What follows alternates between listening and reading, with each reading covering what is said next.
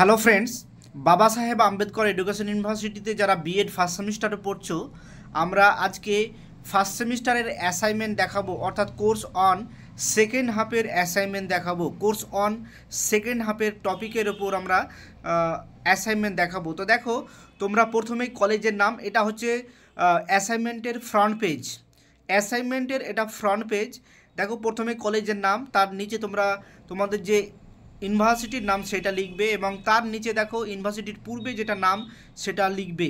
এত বড় না লিখে তোমরা ডাব্লিউ বি ইউটিটিপিএ এটা লিখলেও অসুবিধা নেই। এরপর দেখো ফ্রন্ট পেজে তোমরা কী কী আর লিখবে? বিএড কোর্স সেশন অবশ্যই লিখবে এবং টপিক নেম অর্থাৎ অ্যাসাইনমেন্টের যে টপিক সেই দিতে হবে। আজকের যে টপিক আমরা তোমাদেরকে অ্যাটিটিউড সম্পর্কে দেখাবো। দেখো অ্যাটিটিউড তারপর তোমরা তোমাদের নিজেদের ডিটেলস দেবে এইভাবে। এরপর দেখো, আমরা ফ্রন্ট পেজ দেখালাম। এরপর আমরা এই ফ্রন্ট পেজের পর তোমরা অ্যাকনলেজমেন্ট এই টপিকটা দেবে, অর্থাৎ এই পয়েন্টটা দেবে, এই পেজটা দেবে। এটা অর্থাৎ এটা হচ্ছে তোমরা শিক্ষকের কৃতজ্ঞতা শেখার জন্য, অর্থাৎ শিক্ষককে তোমরা থ্যাংক ইউ বলবে। এর জন্য তোমরা এই পেপার এই পেজটা একটু লিখতে হয়।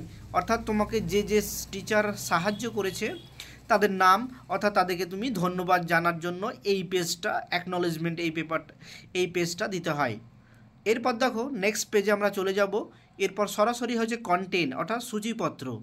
দেখো, সূচিপত্র এইভাবে লিখবে, এখানে অ্যাকনোলেজমেন্ট দেওয়ার দরকার নাই, যেহেতু সূচিপত্র অ্যাকনোলেজমেন্টের আগেই দিচ্ছ, এই কারণে তোমাকে অ্যাকনোলেজমেন্ট এই পেজটা না দিলেও হবে। অর্থাৎ দেওয়ার দরকার নেই। এরপর দেখো, আমরা অ্যাটিটিউড সম্পর্কে কী কী বিষয় লিখবে, সেটা সংক্ষেপে একটু বলে দিয়েছি। এরপর দেখো আমরা ভূমিকা ভূমিকা বিষয়টা এভাবে দেবে। দেখো আমরা ভূমিকা দেখাচ্ছি। এইভাবে তোমরা ভূমিকাটা দেবে। এরপর দেখো ডেফিনেশন অর্থাৎ এই যে আমরা আজকে অ্যাটিটিউড লিখছি, এই অ্যাটিটিউড ডেফিনেশন এইভাবে তোমরা দেবে। তারপর nature of attitude nature of attitude এবং নেক্সট হচ্ছে দেখো characteristic of attitude. Characteristic of attitude. এইভাবে তোমরা দেবে ক্যারেক্টারিস্টিক অফ অ্যাটিটিউড।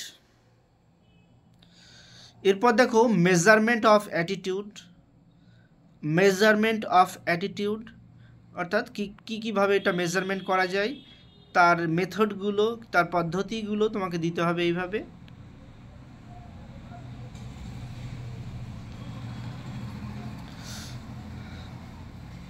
এগুলো তোমরা বইয়েও পেয়ে যাবে, তোমরা বই থেকেও লিখতে পারো, দেখবে। থার্স্টন মেথড এগুলো হচ্ছে মেথড অর্থাৎ অ্যাটিটিউড মেজারমেন্টের মেথড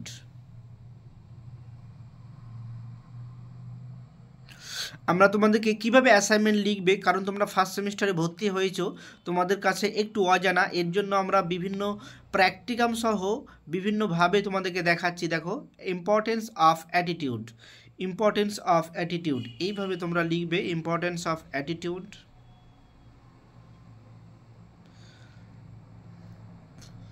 দেখো, এরপর দেখো ডেভেলপমেন্ট অফ অ্যাটিটিউড অর্থাৎ ডেভেলপমেন্ট অফ অ্যাটিটিউড অর্থাৎ কখন থেকে আমাদের এই অ্যাটিটিউডটা গঠন হয়, এটা কিন্তু জন্মের আগে থেকে হবে না, জন্মের পর থেকে কিন্তু আমাদের এই অ্যাটিটিউড অর্থাৎ বিভিন্ন বিষয়, পরিবার, বিভিন্ন বিষয় থেকে আমরা এই অ্যাটিটিউডগুলো আমাদের মধ্যে ডেভেলপ হয়।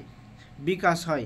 এরপর দেখো factor responsible for attitude factors responsible for attitude অর্থাৎ পরিবার, কি কি কোন কোন ফ্যাক্টরগুলো আমাদেরকে প্রভাবিত করে, এই আমাদের অ্যাটিটিউড গঠনে সেটা আমাদেরকে লিখতে হবে। বন্ধুদল, প্রথমে পরিবার, তারপর দেখো, অনুবর্তন মডেলিং ঠিক আছে? মডেলিং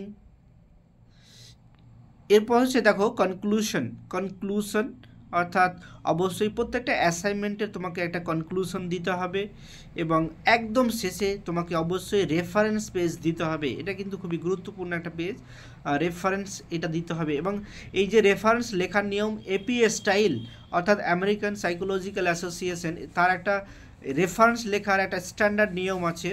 সেটা দেখো, আমি একটু বলে দিই, এখানে একটু ভুল আছে। প্রথমে তোমাদেরকে লিখতে হবে নামের দেখো টাইটেলটা লিখতে হয়, অর্থাৎ আমাদেরকে, আমাদের যে টাইটেল সেটা পুরোটা লিখতে হয় এবং নাম, যেটা নাম হয়, অর্থাৎ দেবাশিস, শুধু দে লিখলেই হবে।